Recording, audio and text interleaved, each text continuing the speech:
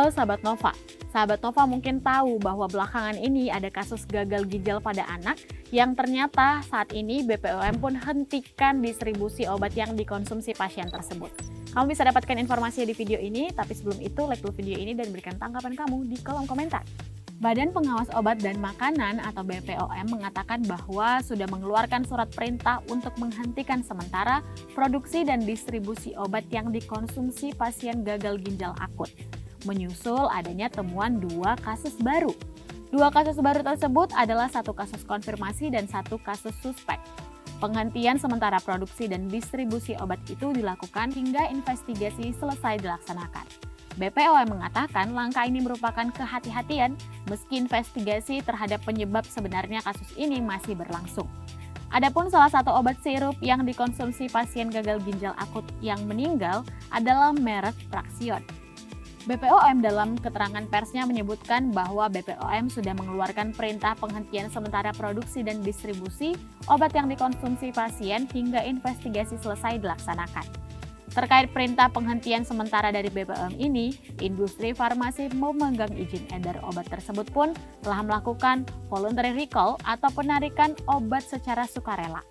Lebih lanjut, BPOM mengatakan telah melakukan investigasi atas sampel produk obat dan bahan baku baik dari sisa obat pasien, sampel dari peredaran dan tempat produksi, serta telah uji di Laboratorium Pusat Pengembangan Pengujian Obat dan Makanan Nasional atau PPPOMN.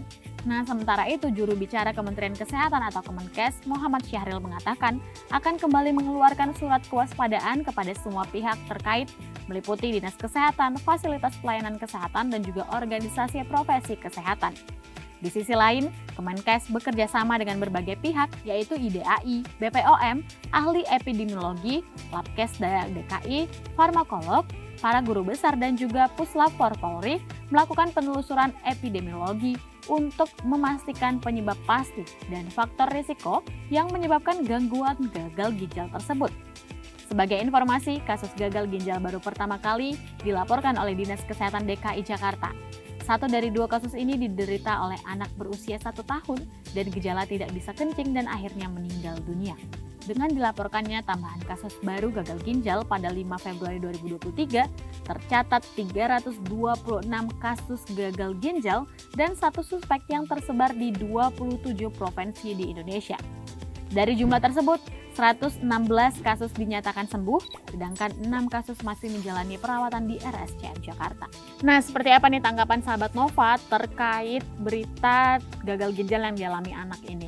Sahabat Nova bisa berikan tanggapan kamu di kolom komentar dan jangan lupa like video ini dan ikuti seluruh sosial media yang Nova miliki.